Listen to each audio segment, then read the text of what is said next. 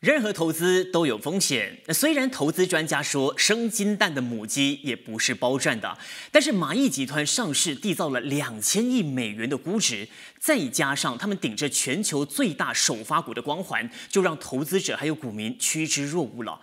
而有持有股份的蚂蚁集团员工身家也立刻暴涨。当然，作为创办人之一的马云，他的财富也跟着暴升。只是对于蚂蚁集团的风险，有西方媒体也做出了分析。蚂蚁集团上市引起了西方媒体和投资专家的高度关注。投资专家分析指出，蚂蚁集团现在的规模是已经大到不能倒。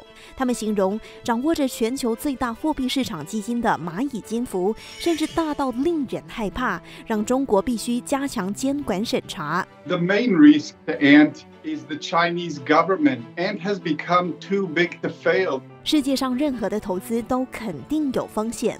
不管怎样，在蚂蚁集团成功上市之后，创办人马云的身家将一夜暴涨，距离世界十大首富只是一步之遥。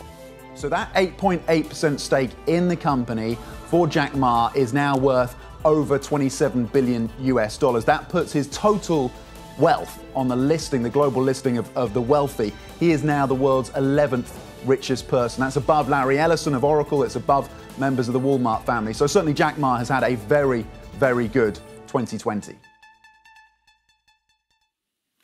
蚂蚁集团一旦上市，身家暴涨的幕后老板马云身家会暴涨到怎么样的程度呢？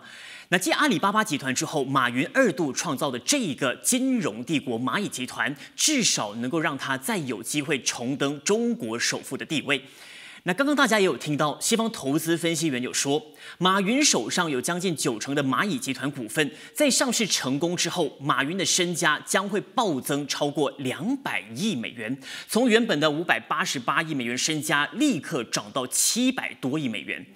那么这也意味着，今年五十六岁的马云在彭博亿万富豪指数上的排名将会从原本的十七位上升到第十一位，一举超越甲骨文公司的艾利森、沃尔玛的家族以及欧莱雅的女继承人，跻身成为世界十一大富豪。那么距离全球十大富豪的榜单只是一步之遥了。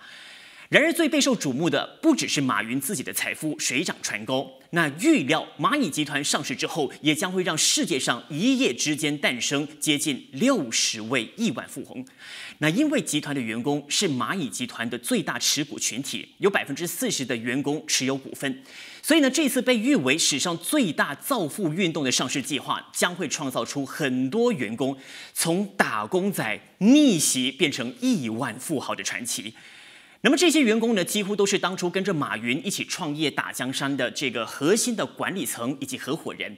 那其中呢，身家暴涨最多的是被称为“女版马云”的彭雷。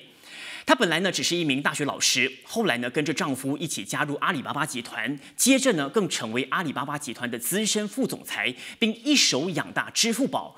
而她手持蚂蚁集团百分之九点八九的股份，比马云更多。在蚂蚁集团成功上市之后，彭雷的身价预料将会暴涨到一千四百亿人民币，成为中国女首富。